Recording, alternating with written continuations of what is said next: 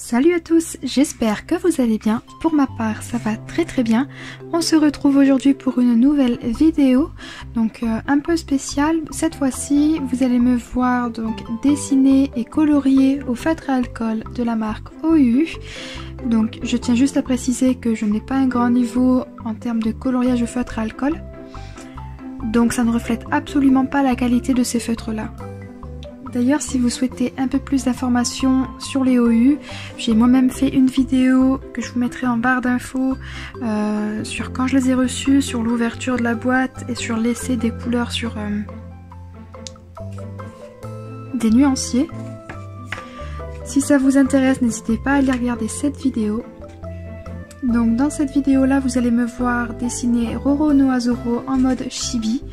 Euh, référence Pinterest. Si ça vous intéresse, si vous voulez essayer, n'hésitez pas à, le faire vous-même et à me l'envoyer sur mon Instagram que je vous mettrai cette fois-ci en barre de description. N'hésitez pas à lâcher un like si cette vidéo vous plaît et à vous abonner si ce n'est pas encore le cas. N'oubliez pas non plus d'activer la cloche des notifications pour être informé de la suite de mes prochaines vidéos. Je voulais juste vous préciser que donc ce dessin, euh, sans compter le brouillon m'a pris environ 45 minutes à faire. Allez, je vous laisse avec la suite et on se retrouve tout à l'heure.